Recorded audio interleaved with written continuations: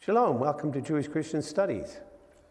In Paul's letter to the Romans, chapter 15 to 18, he reminds us how Christianity is rooted in Judaism.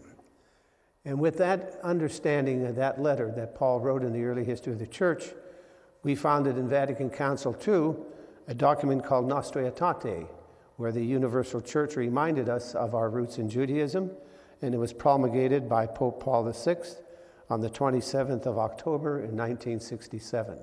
Because of that, we've been having a series of lectures concerning Nostra Aetate held at the Conference Center at the Villa Maria Community Center in Villa Maria, Pennsylvania. We first in, brought in Rabbi Benjamin Blech, who talked about the secrets in the Sistine Chapel that Michelangelo put into his artwork. Then Susan Tamarkin Goodman came the next year and talked about the crucifixion scenes in Marc Chagall's paintings. And then we had a, the history of the violins of hope, of those who were playing the violins as people were going to the execution chambers, the gas chambers in Auschwitz. That was presented by uh, James Grymes. This year we had Dr. Tom Crain speak about a virtual reality tour of the Holocaust Museum in Jerusalem. And that was presented at the conference center also. And so at this time now, we take you to the conference center and the presentation of Dr. Tom Crain. Good evening. And, and thank you for the invitation. Thank you also for your attendance this evening. Uh, what we're going to do over the course of the time that follows is I'm going to talk in terms of the Holocaust Museum at uh, in Jerusalem, Yad Vashem, and to give you a little bit of an idea in terms of its overall significance on this very, very large campus on Mount Herzl, literally 40, nearly 45 acres. Uh, it stretches across. So we're going to cover some of some of the areas in detail. We're going to narrate uh, as more of a walkthrough of the history of the Holocaust, which would be very, very similar to what you would be going through in the Holocaust Memorial Museum at Yad Vashem, as well as see a short film clip, etc. And then eventually I will open the floor for any questions that you uh, may in fact have. Well, to begin, you can see here this very large expanse at Yad Vashem and it's Israel's official memorial to the victims of the Holocaust.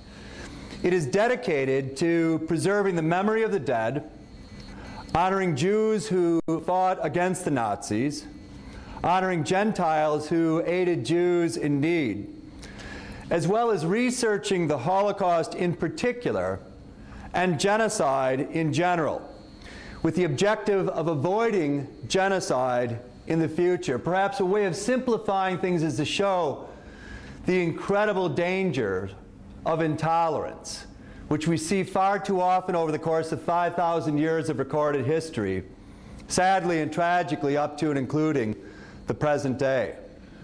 Well, established in 1953 in Jerusalem, the memorial consists here of seven major areas. Okay, we'll be talking about uh, one of them in particular in detail, and we'll be talking about the other areas too. First and foremost, the Holocaust History Museum, the Children's Memorial, the Hall of Remembrance, the Museum of Holocaust Art, the Valley of the Communities, as well as the International School for Holocaust Studies, and finally, the Hall of Names.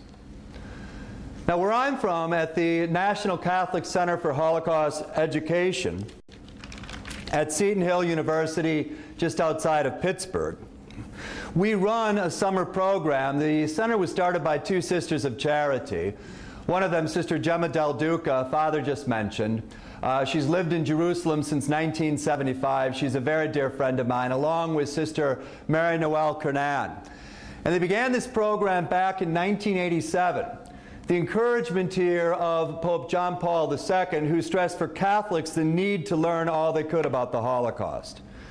And it was something on a very personal level, going all the way back to Catholic grade school in Milwaukee, my hometown, where we were taught in the aftermath of the Second Vatican Council by the Salvatorian nuns, we learned all about the Holocaust. And they also would stress to us time and time again that we were different in the United States because we were Catholic, and this was a Protestant nation for Protestant people. But we could follow here the example set by Jews in America of a focus of education for leveling the playing field. By the same end, we'd ask, I can remember Sister John Francis asking, why did this happen? She said, because they were different, and it shows boys and girls the dangers of intolerance. It's something that's always stayed with me from childhood onward, something I've never forgotten. And as an undergraduate, I set off in terms of more and more of an interest in Jewish history in the 1980s, and I have to say now I'm more confused by it than ever. For it was something that most certainly should not have happened. Well, in 1989, the National Catholic, for, National Catholic Center for Holocaust Education began this Catholic Summer Institute at Yad Vashem. And the program brings educators from Catholic colleges and Catholic universities as well as high schools. You don't have to be Catholic to participate, but ideally we go after the Catholic high schools and colleges. And it's a three and a half week intensive study here at Yad Vashem, okay, in the International Studies Institute. Scholarships are available. If you're interested, see me after. Okay, I can talk, uh, talk to you about it more in detail. But what you have here at Yad Vashem, the single largest Holocaust Memorial Museum in the world. The second largest, ironically enough, is the United States Holocaust Memorial Museum in Washington, D.C. The third is the Illinois Holocaust Museum Center and Education uh, uh, Complex in Skokie, a suburb of Chicago. And I would argue, stepping into today, that the impact that the Holocaust had, I would say that the United States was impacted more by the Holocaust, or the Shoah, Hebrew for annihilation, than any other nation in the world. Okay? Certainly any nation in Europe. Obviously, second to Israel. But what we see and what we find as we move forward is you have this site, the second most prominent site in all of Israel visited more. The only other exception is the Western Wall or the Wailing Wall in city center in Jerusalem. And the museum receives over 1 million visitors, over 1 million visitors every year. Well, what I'd like to do to formally kick off is to put on a short film that'll give you a good overview of Yad Vashem. And then we'll step back in and we'll go through the museum itself. I'll narrate here as we're walking through to have a, a, a better idea. So we'll see this short film. This should only take about six, seven minutes or so.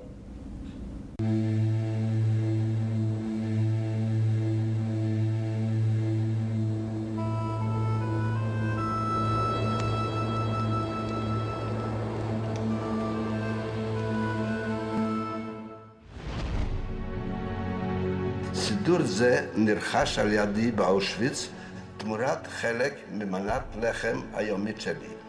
עם הסידור הזה עברתי כל מסע הייסורים במחלות מוות וריכוז בגרמניה. את הסידור הזה הנה תורם היום ליד ושם למזכרת לדורות הבאים.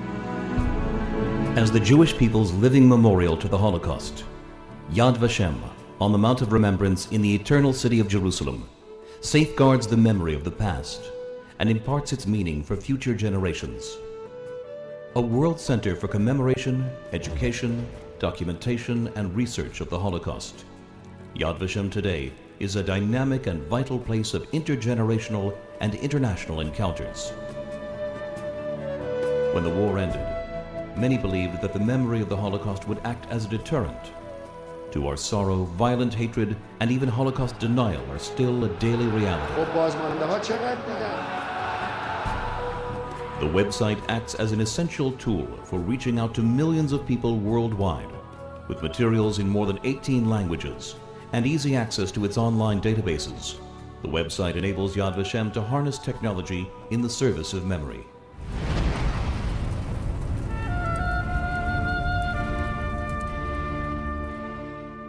אם לוקחים לי את ההורים, ממילא החיים שלי לא שווים כלום, ואין לי מה להפסיד. חודשים שכלתי את אבא, אח ואמא. צערתי שחקתי יחיד בכל המשפחה. זה מה שהגרמנים יימח שמם וזכרם עוללו לנו. וזה דברים שאסור לשכוח. מצד שני, יש לנו נקמה שזכינו, יש עוד השרידים, זכו לגדל משפחות, משפחות לתפארת. אני במהר, וזו הנקמה והנחמה.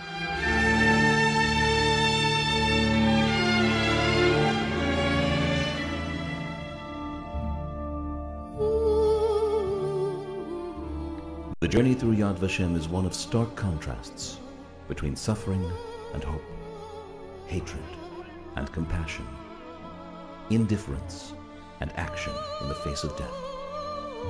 At Yad Vashem, we are reminded we always have a choice.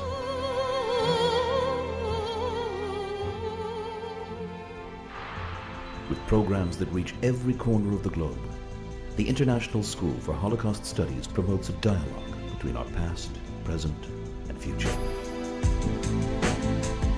If only Yad Vashem was here for the names, then Yad Vashem would be the spiritual final resting place of those victims. The fact that with that there is the museum and there's the education and there's the research and there's all the layers that go on top of that makes Yad Vashem absolutely unique in the world and it is the place where Holocaust remembrance and education and research really emanates from. Each year, thousands of educators and students from around the world participate in initiatives geared toward infusing the memory of the Holocaust with content and meaning. The Holocaust was unique to the Jewish people, but its significance as a crisis of human civilization continues to resonate worldwide. המבקר שעובר במהלך המוזיאון מסכם לעצמו חוויה מאוד משמעותית וחזקה. נדמה לי שהערך העיקרי שאדם יכול לצאת הוא לראות את עצמו כבעל מחויבות גם לקהילה וגם לערכים האנושיים האלה. Thankful for the people of Israel to have created a monument that I think belongs not only to Israel but to the entire world. Je me souviens très bien, au bout d'un long couloir, d'une immense pièce, avec des milliers de petites lumières et des prénoms d'enfants, c'était le murmure des âmes innocentes. Je me suis dit alors que sans doute c'était cela la politique, faire barrage à la folie des hommes en refusant de se laisser emporter par la folie des hommes. J'ai changé à Yad Vashem. The international recognition of Yad Vashem for its promotion of peace, tolerance, and coexistence would not have been possible without the unwavering support of our friends around the world.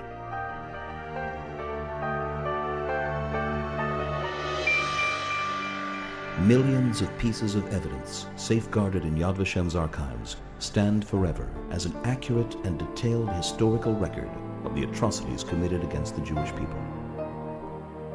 My last will, Gela Seksztajn. I wish to say goodbye to my friends and my work. I donate my work to the Jewish Museum to be founded in the future, to learn about the terrible tragedy of the Jewish community in Poland during the war. Be well, my Jewish people. Never allow such destruction to happen again.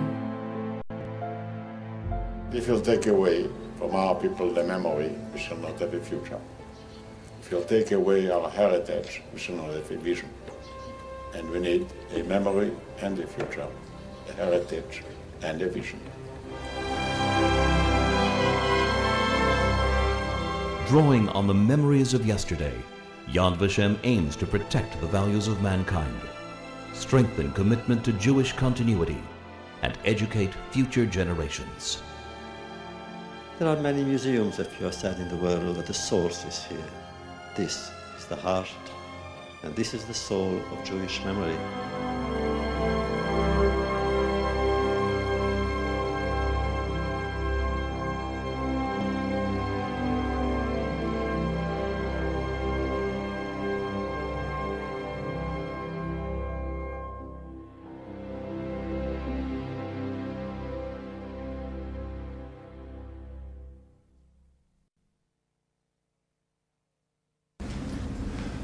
Okay, well, what I would like to do is to talk in terms of the, the central building, the main building, which is the Memorial Museum. And we will talk in terms of like an actual narration, but before we get into it, I want to uh, stress it will be going through the museum, okay, and I'll be narrating in terms of the chronology uh, uh, of the event itself, and then we'll start looking at the larger complex.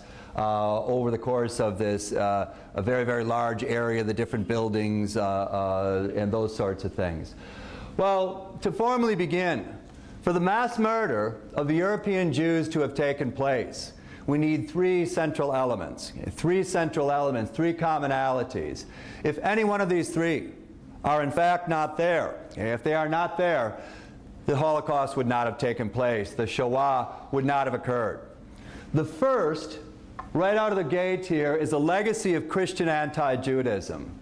What concerns me most as a modern Jewish historian and as a Roman Catholic is the fact that Christianity should have been the greatest protector of its sister religion of Judaism. Not only does Christianity fail to protect its sister faith, at times it also becomes its greatest persecutor. I would argue it's something that Christianity is still, in fact, formally trying to come to grips with in the present state. Second of all, you need German defeat in World War I, a war that would take the lives of 15 million people from 1914 to 1918. Germany's defeat in World War I would open the gates here towards this historic scapegoating of the Jewish people, although the Jewish population in Germany was very, very small. In a nation of 80 million people, it was only about 500,000. Yet, having been scapegoated for centuries, as we shall see, this campaign that would begin against the Jews really in the 1920s, but especially by the early 1930s, would be a direct result here of Germany's defeat in World War I and a looking or a searching for a scapegoat. And third and final, Adolf Hitler. Adolf Hitler and the Nazis we will see over the course of centuries of anti-Judaism and centuries of anti-Semitism, we will see time and time again this hostility towards the Jews. Pogroms will be sweeping across Eastern Europe in the 19th century. But what sets here, what sets the Germans off, this supposedly civilized and cultured nation, what sets Adolf Hitler off, makes him distinct, makes him different, is mass murder. That was something that had not been thought about in terms of an assembly line here of death. Without any of these three historic ties or foundations, the mass murder of the European Jews would not have occurred.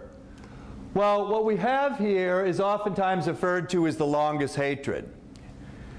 2,000 years. This isn't something oftentimes I would say to my students over the years at the University of Wisconsin in the Holocaust class. I wouldn't say it wasn't an example of many people see it as 1933 to 45. They weren't even the Germans, they were the Nazis.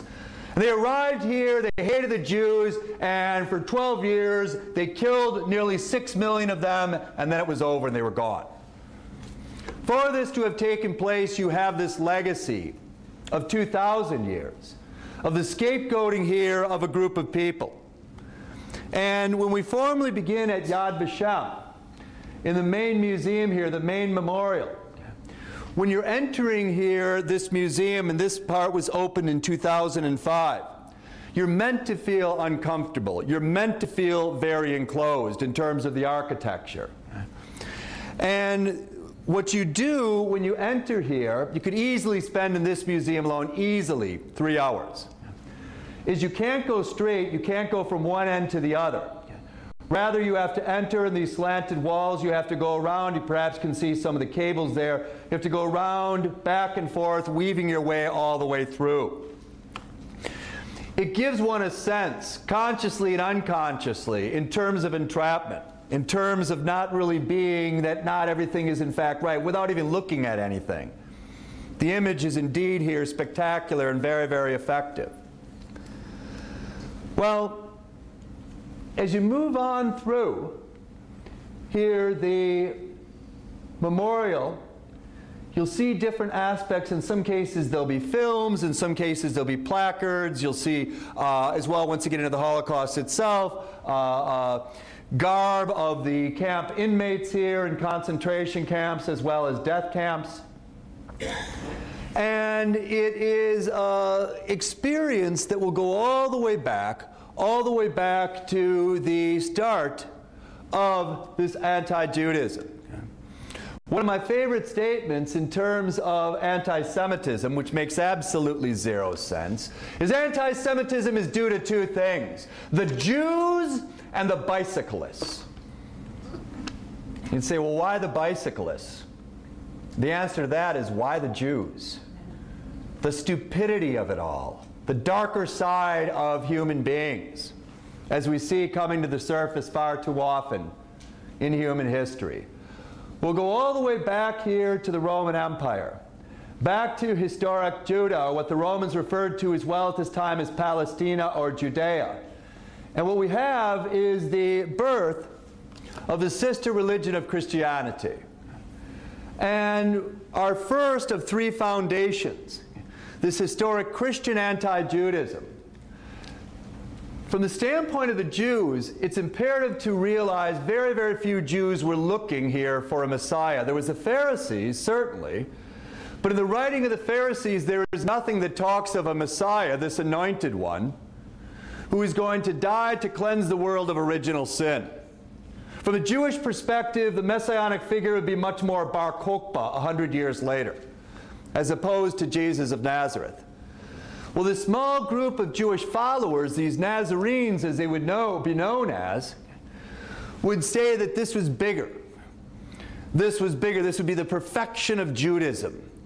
Here in this area of chaos, of turbulence, especially in this region of the Roman Empire where the Romans were ruling here, this area with an iron fist through and through. Well, what we see is frustration on the part of the Nazarenes eventually becoming the Christians that the mass conversion of the Jews did not take place. And what happens instead is this transition, this transformation among some Christians of the Jews as Christ killers, the Jews and their attitude of murderers of God. What does it mean to be a murderer of God? Take, moves, removes all moral pretenses. What it does is it sets the stage for centuries to follow. The Jews will be thrown out of their historic homeland where they had been for a thousand years by the Romans in the aftermath of a series of revolts. Christianity, by comparison, will spread, though it takes a good 300 years. With the Emperor Constantine in 312 and his conversion, or this mystical vision that he has, Christianity becomes the official religion of the Roman Empire. And even by the time of the fall of the Roman Empire, Christianity is this massive, very, very significant religion. Well, in the centuries that follow, when we enter the Middle Ages, for as long as there was a Jew, practicing his religion in some God-forsaken town or some God-forsaken hamlet, it cast here this glimmer of doubt that perhaps Christianity wasn't the one and only religion. And we see here this hostility towards the Jews in medieval Europe, especially around the time of Easter, when Christians would hear the passion and death of Jesus of Nazareth. And certainly Jews were not put in a good light and it would lead to eventually homicidal anti-Judaism in the form of the Crusades in 1095, which would unleash the greatest catastrophe of all in, on the Jews here.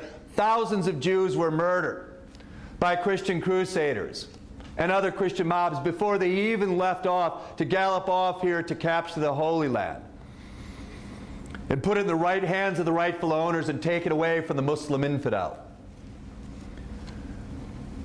When we get to the 1300s, the Black Death, this extraordinary scourge, is going to befall Europe. And initially, Christians believe God is punishing us because we are sinful and wicked people. However, as 30% of the population is going to die across all of Europe in the first three years, by 1349, Christians, who represent 99% of the population of Europe, the Jews are less than 1% of the population here in Europe, believe something more sinister is at work. What more sinister, what is in fact here formally at work? It is the Jew who's poisoning our drinking supply. They have no clue that's being carried by rats. This terrible, terrible disease. It leads to a second example here, a second wave of homicidal anti Judaism or anti Semitism. When we carry onwards into the 1400s, from the Jewish perspective, the attitude is one of we have to wait for the clouds to pass. We have to wait for the storm to pass. If we fight back, we're going to make it worse for all of us. We don't have safety in numbers. We have nothing. Well, in the 1400s, it becomes even more bizarre. As European Jews are accused here of ritual murder or blood libel, that they would, they would kidnap Christian children and drain their blood for these Jew sacrifices. It was particularly big around the time of Easter, which corresponds, of course, with Passover. Keep your eyes on your children. So, anytime here you had children who went missing and were found dead, beginning in particular in 1476 with Simon of Trent, as well as a follow up, an unsolved murder mystery, Andrew of Rinn. Jews would be arrested and tortured on the accusation of ritual murder, a complete and total myth, something that would follow the Jews of Europe all the way into the 20th century. Well, with the onset of the Reformation, which will be marking the 500th anniversary this coming October, October 31st, 1517, Martin Luther is going to introduce in essence, this new form of Christianity. He had no intentions of breaking away from the historic Christian church, the Catholic Church. He wanted reforms within the church, reforms that he saw were much needed. Well, Pope Leo here is going to excommunicate this professor of theology from the University of Wittenberg in the Germanic states. And Luther, therefore, has no choice but to start his own religion, and hence the Protestant Reformation begins. From a Jewish perspective, this might not be altogether all that bad. Because certainly things had not gone well with Catholics or with Orthodox Christians, maybe with Protestants it would. And indeed, in 1523, Martin Luther is going to write Jesus Christ in the Jewish faith, also known as Jesus Christ was born a Jew. And in this pamphlet, he predicts the mass conversion of all the Jews to Protestantism, the one true religious faith. In fairness to Luther, he should have done his homework. Because the Orthodox Christians have been trying it for centuries. Catholics have been trying it for centuries. The Muslims have been trying it for centuries. Not a lot of luck. Well, what happens here is the mass conversion that Luther predicts doesn't happen. And in 1543, Martin Luther writes the most anti Semitic document ever in the course of human history on the Jews and their lies. He encourages good Protestants to do whatever you want to the disgusting Jews burn their Torah scrolls, burn their synagogues, force them all to live in barns so they get in touch here with their inferior natures. Well, unfortunately, the relationship with this new form of Christianity is not going to improve matters, not much at all. As the centuries progress and the Middle Ages formally come to an end, we enter into this period in the 16th century of the Enlightenment, this awakening. And from the approach here of Christianity, this whole attitude of the Jews as Christ killers, the Jews as ritual murderers, that's medieval. That's obscurantist, that's passe. And it seemed as though there was this hope for a dawn in a new relationship. Christian anti Judaism with the onset of the Enlightenment is going to begin a period of decline. Unfortunately, however, the framework will be used as Christian anti Judaism is going to morph here into modern anti Semitism. Modern anti Semitism, with its birth in the 19th century in the nation of Germany. The exact decade, the 1870s. What do I mean by modern anti Semitism? The Jews and their love of money, money and power.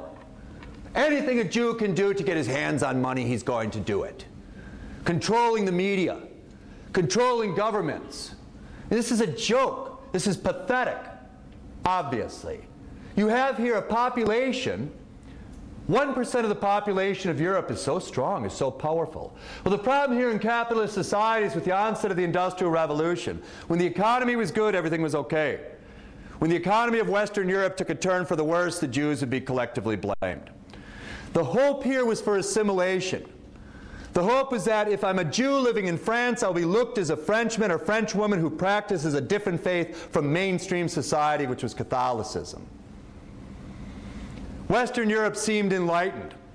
Unfortunately, that did not appear to be the case. Eastern Europe, you still have this guttural anti Semitism, the Jews as Christ killers in the Orthodox Christian world, the Jews as ritual murderers, to the stage that it will usher in across here historic Europe, in particular across the Russian Empire Wave after wave of pogroms. A new word is ushered into the Russian vocabulary.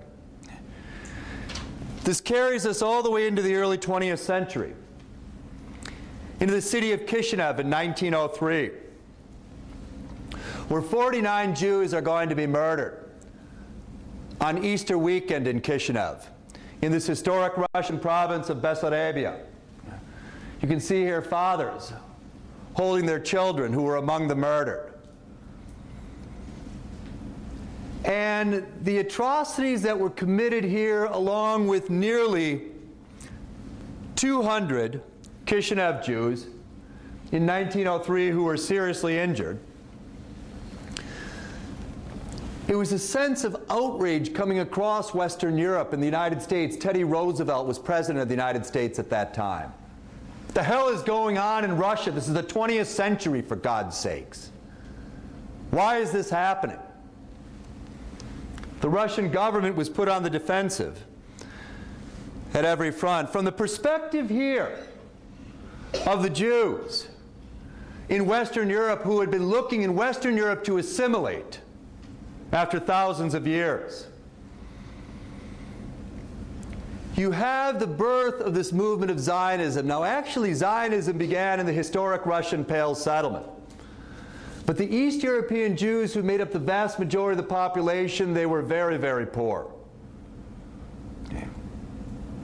These poor farmers living in Eastern Europe trying to eke out an existence. They were experiencing homicidal anti Semitism coming from the Russians. This search, this quest for a Jewish state, a Jewish homeland, lovers of Zion, these organizations, to go back from where the Jewish people had once been. Because the attitude with this Jewish nationalism is the reason we've been used and abused for centuries is because we no longer have a homeland. And until we reestablish that homeland, there is no hope for us. Theodor Herzl will be the prominent voice here of Zionism. And in 1894, he will publish Born in Budapest, Hungary, lived the better part of his life in Austria, in Vienna, he will publish Der Judenstaat in his native language of German, where he stresses here this need for a Jewish state in 1894, as the pogroms were continuing well before, well before Kishinev in 1903. And he stressed in 1894 that unless there is a Jewish state in existence somewhere in the world within 50 years, I fear the annihilation of the Jewish people of Europe.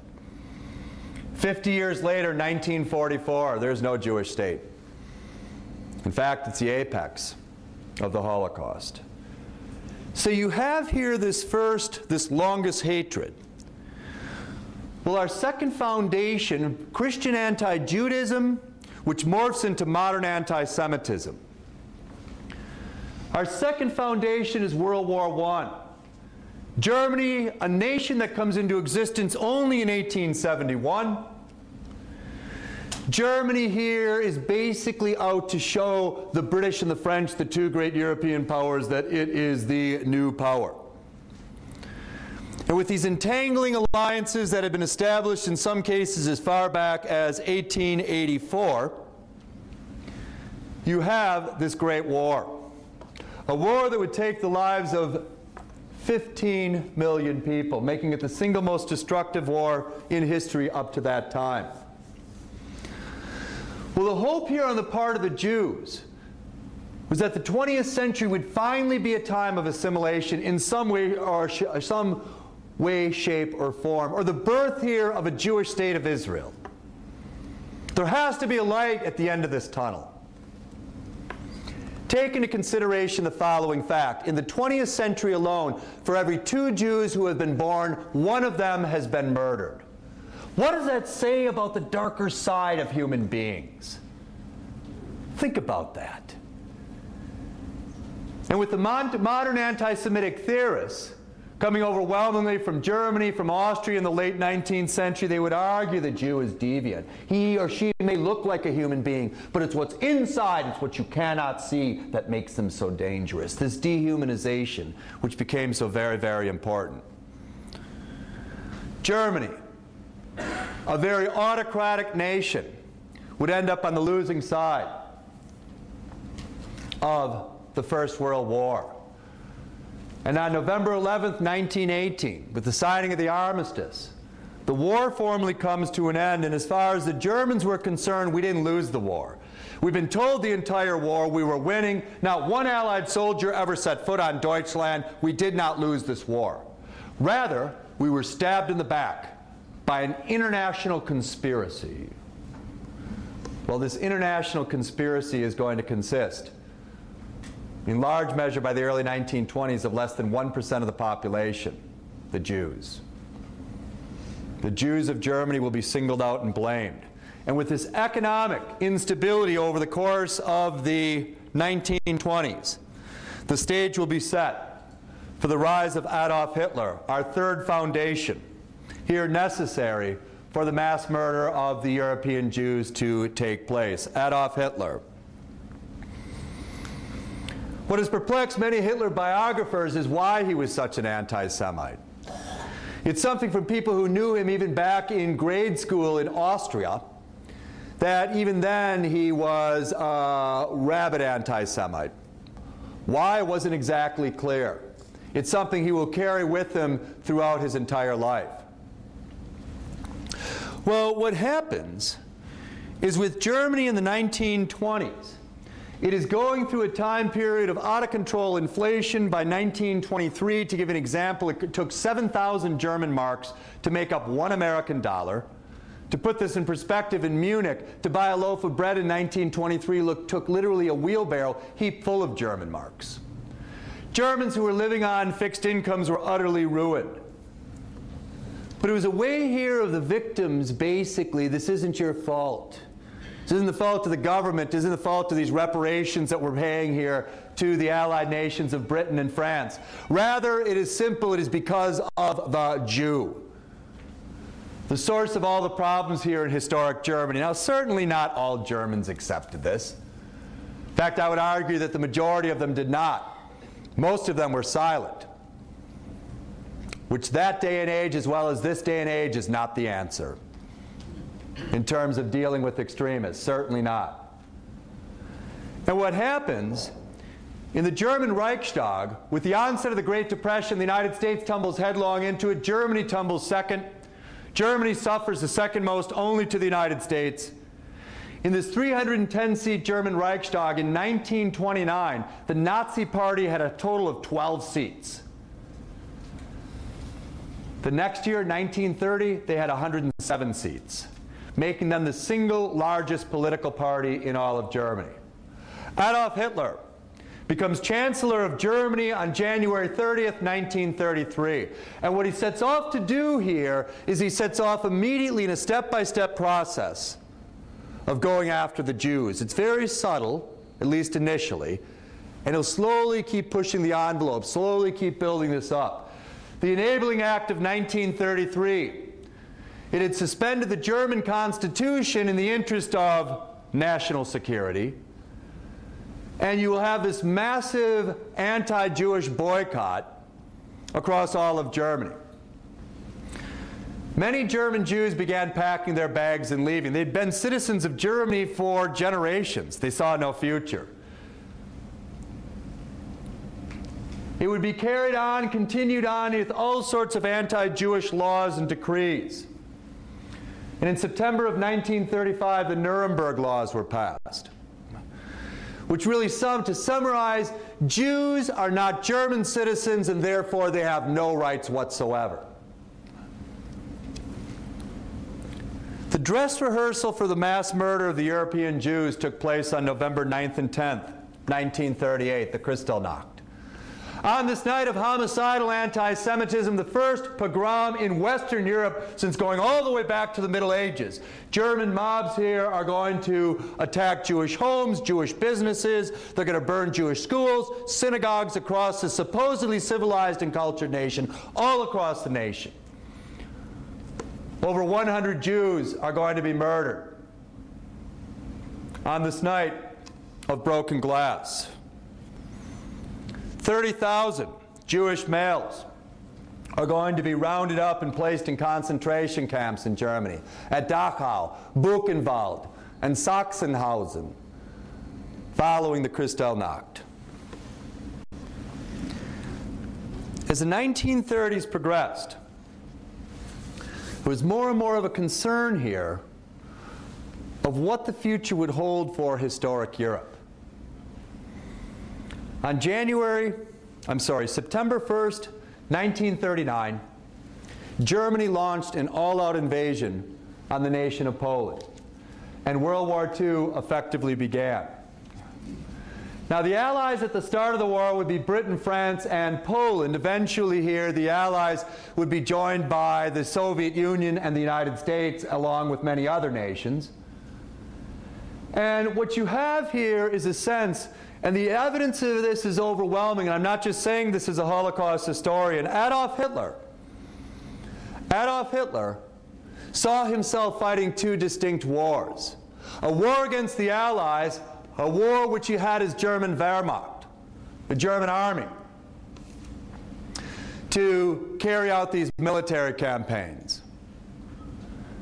And a second war, a war against a defenseless civilian population the European Jews. And for his war against the Jews, he had the SS and the Einsatzgruppen, who were going to be trained exactly in terms of what their responsibilities were and go indeed going to be, and volunteered for it overwhelmingly. In the backdrop of the Second World War, Hitler's Germany came closer in this land of Bach and Beethoven closer than human beings have ever come to creating hell on earth. And what you have with the invasion of Poland, which had the largest Jewish population in all of Europe, 3.2 million Jews in 1939. Six years later, less than 100,000 were still alive. What you have here first was the rounding up of the Jewish population and being placed here in ghettos. In the Warsaw Ghetto alone, and put on a starvation diet. In the Warsaw Ghetto alone, you had 500,000 Jews living cramped together here. Starved on a routine basis by the German High Command. Wherever the Wehrmacht went, the SS would follow, rounding up the Jews. And from the standpoint of the Jews, it didn't make any sense. I mean, this is the 20th century. What are they going to do? We're being told we're being sent to labor camps, etc. Well, with the onset of the invasion of the Soviet Union on the part of Germany, Poland falls, France falls, England or Britain is left standing, holding on. On June 22, 1941, Germany launches an all-out invasion of Soviet Russia. Any good Nazi hates communism with a passion, and such is the case with Hitler.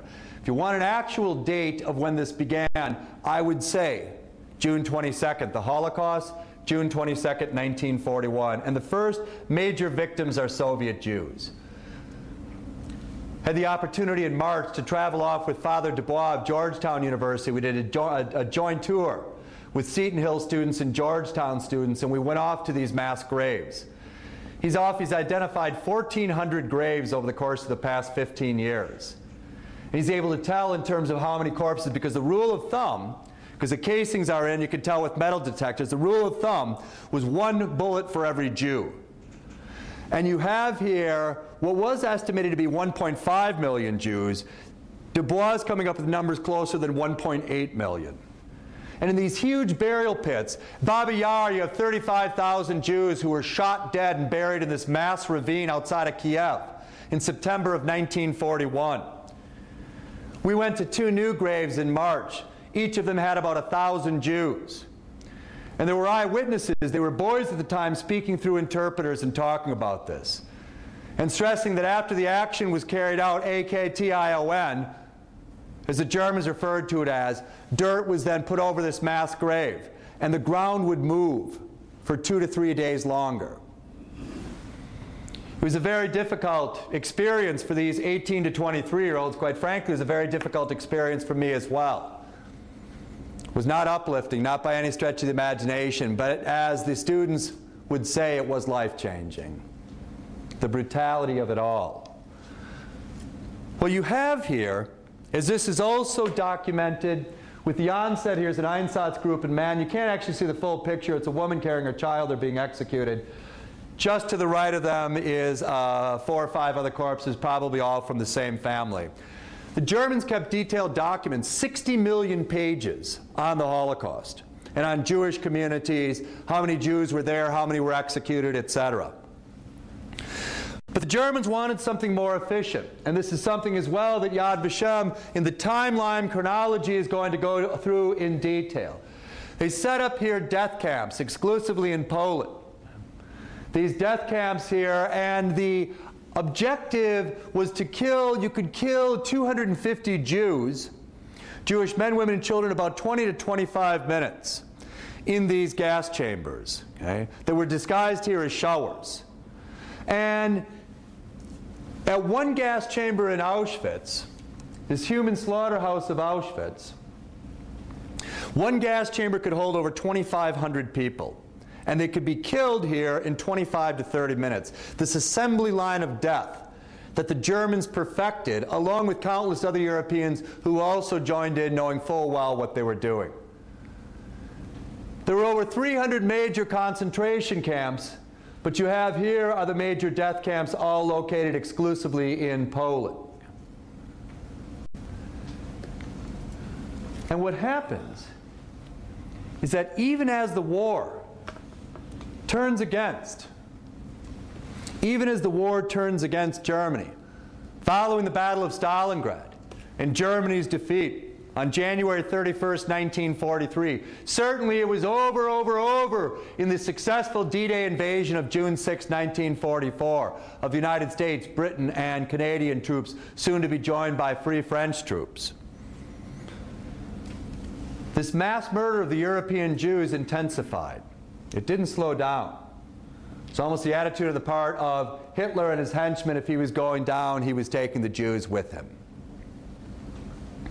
Nearly 70% of the Jewish population of Europe will be destroyed within six years. Well, as you're going through this experience here of the memorial, It is also imperative to see, I think it's most important as a modern Jewish historian. Oftentimes they'll say modern Jewish history is one of the most depressing histories you can uh, uh, study, certainly. But there's also a sense of hope, the triumph of the human spirit. And when you leave this memorial of horrors at Yad Vashem, you come out at the very end looking at this beautiful expanse of Israel. And a sense here of hope, a sense here of very strong hope for future generations. And it's something that becomes and remains absolutely imperative. Well, here on this great expanse, on the grounds, there's many other areas too that really have this huge impact. The Hall of Names, which is a memorial to the six million Jews. There are a total of 600 photographs of the victims, as well as fragments of testimony pages.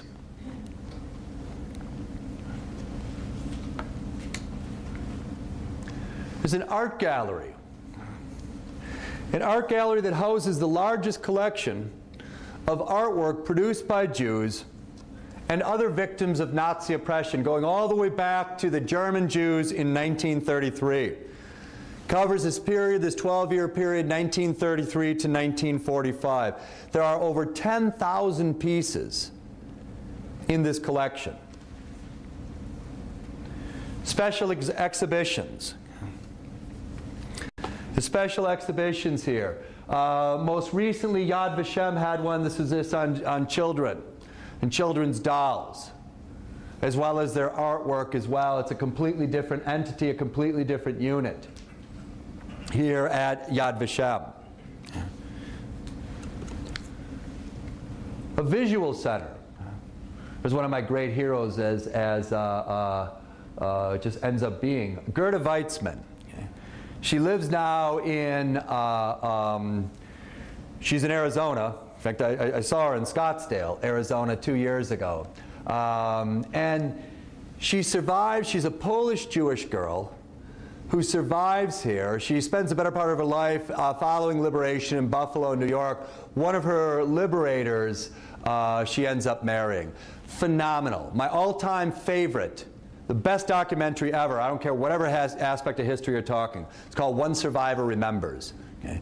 Can't locate a copy of it. I've got a ton of them. I'm more than willing to uh, mail one to you. It's a 40-minute film. Won the Academy Award for uh, Best Short Documentary some years ago. Talking about her experience in this 40-minute film. Well, the Visual Center has a huge amount of film footage, documentaries as well as this visual center which you go to is different historians talking about different aspects in terms of knowledge, in terms of trying to big, wrestle with the bigger issues here of the Holocaust. Some theological, some historical, some political. Questions, have we learned from anything? Can this happen again? So on and so forth, those sorts of issues. The Hall of Remembrance. The Hall of Remembrance. Here you have, in fact, here's Pope Francis from a few years ago. They have, as you can see on the floor, in uh, one of the most somber places at all here at Yad Vashem of the death camps of the Second World War. You have as well the eternal flame. And it's something that, as a Roman Catholic and a modern Jewish historian, to me, he's one of my great heroes. What he has been doing as well for Jewish Catholic relations, which is what we are focused on here in our National Catholic Center, has been extraordinary. I hope he's around for a good long time. It's kind of a Francis groupie, I guess you could say. Well, here at the Hall of Remembrance, in fact, his closest friend is the chief rabbi of uh, Buenos Aires. Okay? They, they co-wrote a book together not too long ago. Janusz Korczak if you get off into the area here of the Valley of the Communities, okay, and they'll have all the different towns and, and villages and cities that were just leveled.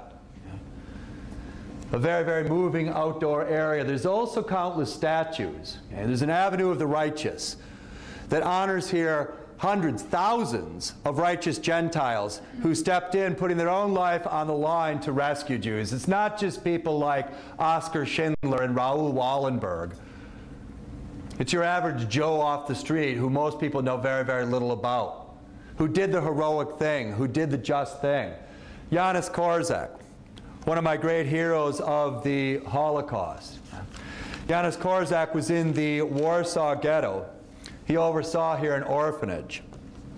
And when it came time to deport here, as they were liquidating the ghettos and sending the vast majority of the Warsaw Ghetto Jews, ended up gassed at Treblinka, which was the most efficient of all the killing centers. Korczak could have had his life spared, but he didn't want the boys. He didn't want the children to be afraid. He knew where they were going. He knew what was going to happen to them. And on August 5th, 1942, accompanied by 196 of these Jewish children, he went with them to the trains and onwards to the gas chamber at Treblinka, where he died along with these children. A great hero, not just in terms of Holocaust history, is also viewed in a very honorable fashion by the nation of Poland. the most moving place of all, and the most extraordinary place I've ever been, having anything to do with the Holocaust, have anything to do with history, is the Children's Memorial here at Yad Vashem. I can't talk about it long because it's, I can only go so far. I used to be able to do in Holocaust classes, back before I had children of my own, I could go triple X rated in terms of these crimes that were committed. I can't do it anymore. And in this case, what you do is you walk in to this memorial on the grounds. And in this memorial, it is recognizing the 1.5 million children who were shot, who were gassed, who were beaten to death, who were starved to death, who had bizarre and cruel medical experiments performed upon them. And when you walk into this room, in my opinion, the most fantastic experience of all in terms of the tragedy and the sadness and the horror of this all. There's a voice that you hear saying the name, the age, and the country of origin of each of these individuals, going on continually. Absolutely unforgettable. This was designed, as was the museum itself, by Moshe Safdie. If history teaches us anything, is that it is the following. There is but one race, the human race. And we learn, unfortunately, nothing from the mass murder of the European Jews.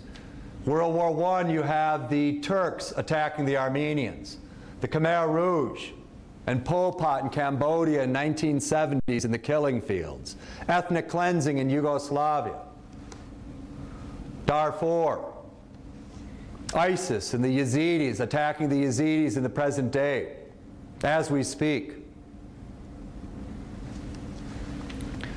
But what I think is most pertinent is in the words of the Holocaust historian Raul Hilberg, the much larger picture, and what ultimately all of this means.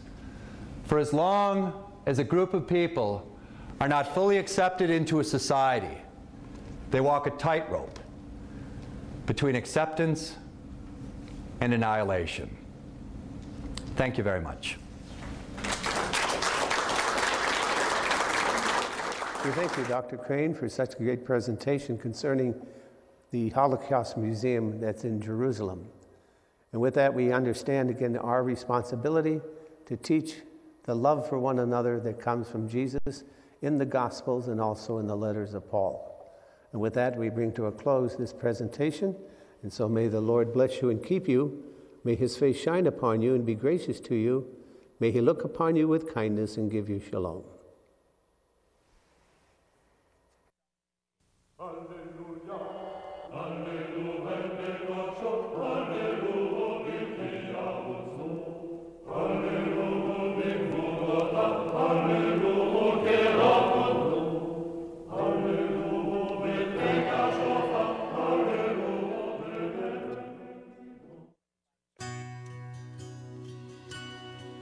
My father taught me a lot about life without ever saying a word.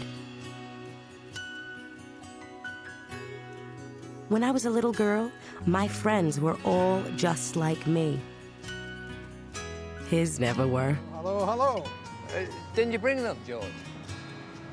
I thought you were No, going no, to. I brought them last time. Huh? You're all right. I forgot. All right, so we'll be with. I used to wonder, why would a Jew, a Christian, and a Muslim ever get together? It was him. And then I finally got it. They had a lot more in common than donuts.